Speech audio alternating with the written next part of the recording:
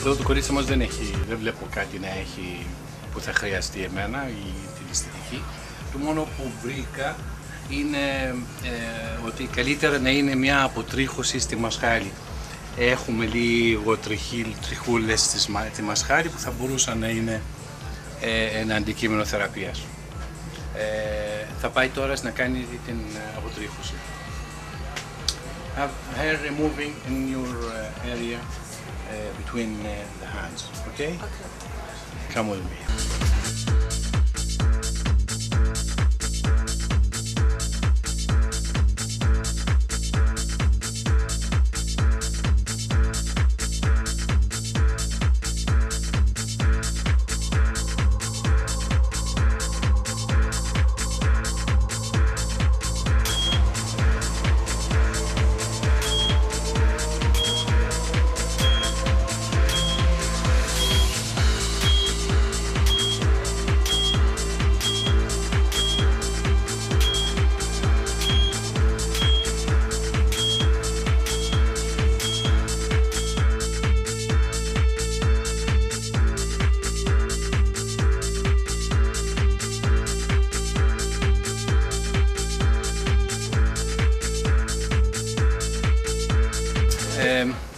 Εδώ είμαι στη Κροατία.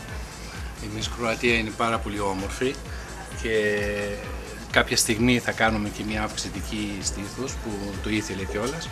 Προς το παρόν αυτό που θα κάνουμε είναι μια θεραπεία στο πρόσωπο ε, που θα είναι μια, ένα φρεσκάρισμα προσώπου ε, γιατί έχει λίγο αφιδατωθεί φαίνεται από το ταξίδι, από τις, ε, τα τραβήγματα που έχει στα αεροδρόμια. You can come with me.